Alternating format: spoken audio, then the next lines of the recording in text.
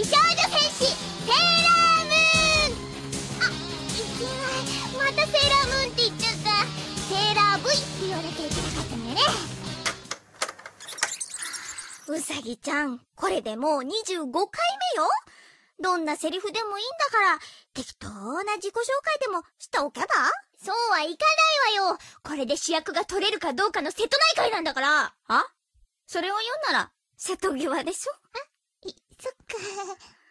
そんなんで主役になれるわけないじゃない。なるの絶対私が主役のセーラー V ちゃんをやるでもね、うさぎちゃん、別に主役にならなくてもいいのよ。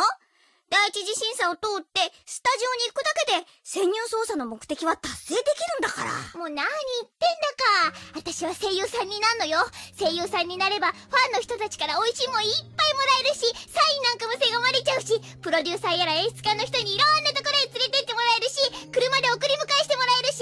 るしお歳暮やお中元なんかもわざかわざか送られてきてイベントなんかもガンガン出まくりやがって歌も出せて CD なんかも作ったりしてそのまま一気にスター街道まっしぐらでもういいことずくでなのようさぎちゃん、これだけははっきり言えるわ。そんなこと絶対にないわよ。